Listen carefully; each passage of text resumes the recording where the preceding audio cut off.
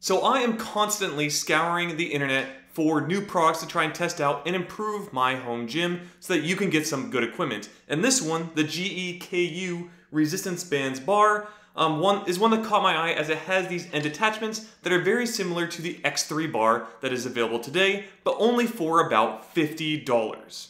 And since this is pretty much the cost of my old bar, and you don't have to buy the triangle links for this, it was a big I must have product in order to do a review for you guys to see what I think and is it something that can replace the Instar bar in my collection.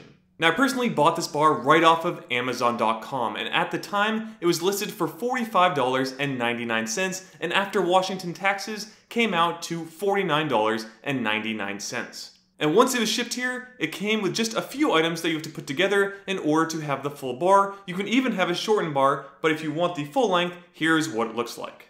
First off, you'll get a long bar that comes in at roughly 16 inches. From there, there's two different sidebars that you can attach as well that come in at about 6 inches each. I think they're just a little shorter, but we'll round it to about 6.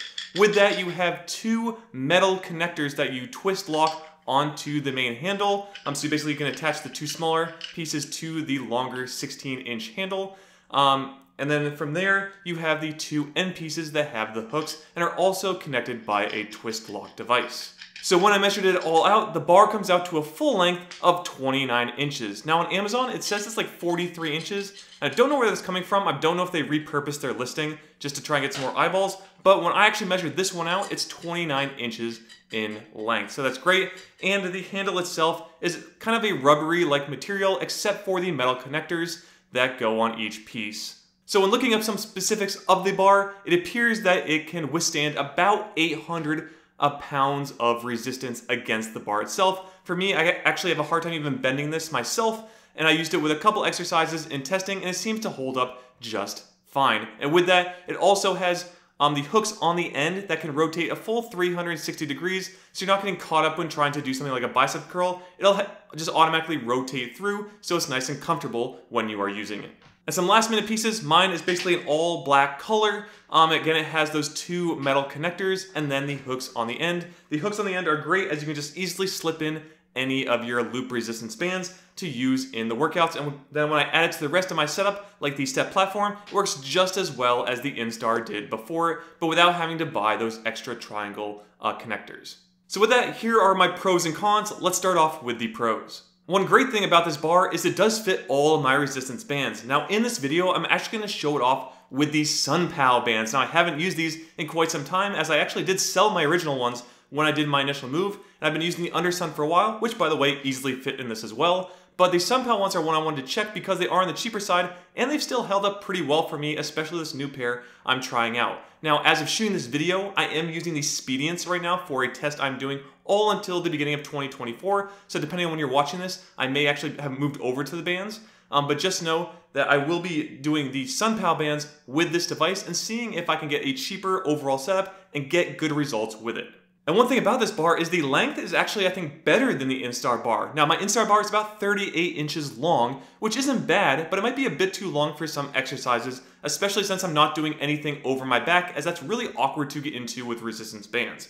So for me, having it at 29 inches is I think pretty much the perfect length for someone my size. Now I am 5 feet 11 inches tall, um, with pretty broad shoulders I'd say overall, um, but just know with this size, it really just feel like a good fit for me. The only time I ever feel like the bands might be a little short are things like over pressing, where I might have my hands a little further out and I can feel my elbows just kind of glide with the bands themselves, but it's a very, very minor con if anything, and I've really, I think, liked using it at about that 29, 30 inch length bar versus a 38 inch bar, which can feel kind of long at some points. Now I did look up the price for this and it is, I would say, a pro, especially having the triangle links on the end so you don't have to buy any separate ones. I can't tell you how many comments I've got from my old videos asking what the triangle links I use are and what size I've been using, and they do actually sell out quite a bit because I think a lot of people are buying them for their setups as well. But again, with this one, you already have the end pieces, so no trying to fret, trying to figure out and buy one yourself. You can just uh, get this product and it already has them for you. They're very similar to what I've seen with the X3 bar online. Um, something I might test in the future, but just know it looks pretty much like the exact same thing and I've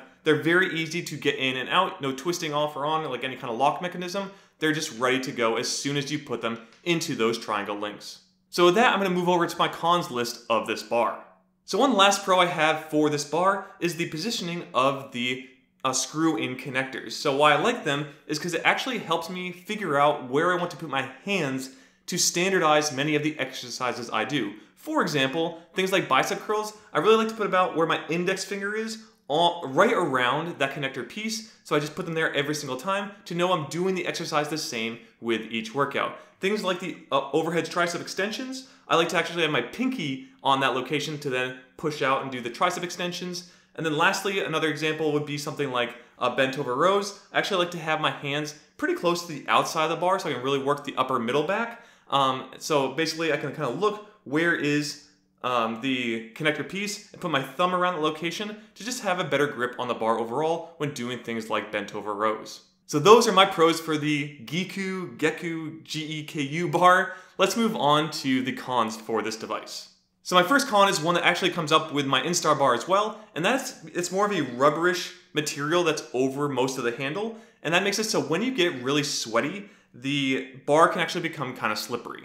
So it is something that I'm not a huge fan of, but still works just fine. And if I did ever have grip issues, I do have straps I could put on my wrists as well to hold onto the bar a bit better. My next minor kind of con is that with the triangle links and using bands that don't have a longer thickness, you might find that it kind of goes to one side of the triangle more than the other. Now again, not a huge concern as it can just be, the exercise can still be done just as normal, but I wish it was laid more flat in the middle if possible, but being a triangle link, that might happen with most of the items. I didn't really ever notice it with my old triangle links, which is kind of interesting, but I would expect it to happen there, especially with the smaller bands. It's just something I noticed when using this right away, that it was favoring one side or the other of the triangle, except for the very large band that lay perfectly flat and right in the middle.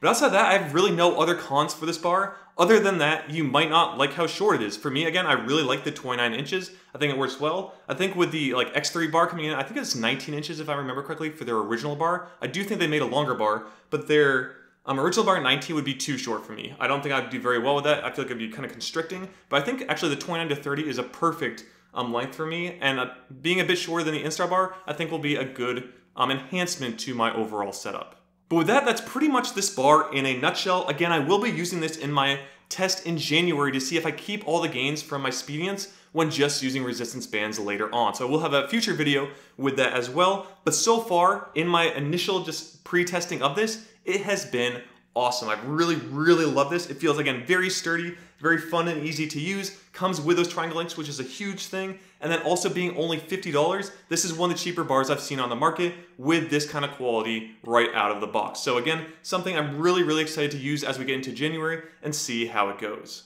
Now, if you want to take a look at all the other pieces I use for my full home gym setup with resistance bands, feel free to check out the video on screen. And I should be swapping out probably the SunPow bands um, and the this bar with my old stuff to help enhance it in the future if all goes well.